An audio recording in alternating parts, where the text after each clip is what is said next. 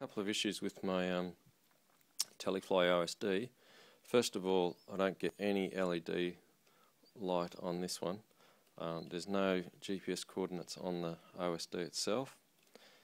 The light um, is erratic. At the moment it's on solid.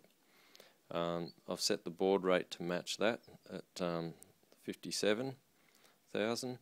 Um, I've also tried it at the default, no different.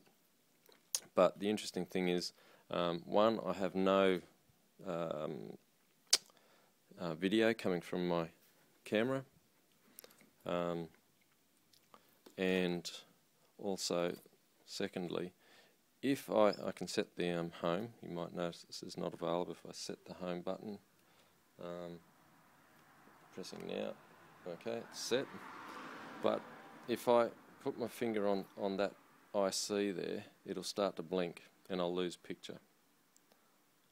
Okay, it's getting hotter, hotter, hotter. Now it's almost hard to touch. Okay.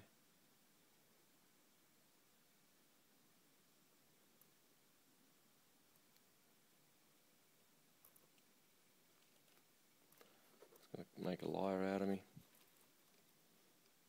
Okay, there it goes. So it goes blinking I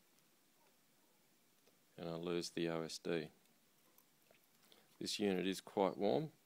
Okay, the blinking stopped and the OSD comes back on. Okay, heat it up again. Just hold my finger on it and loses it and it goes blinking erratic and then it will slow down and the screen comes on. Don't get it.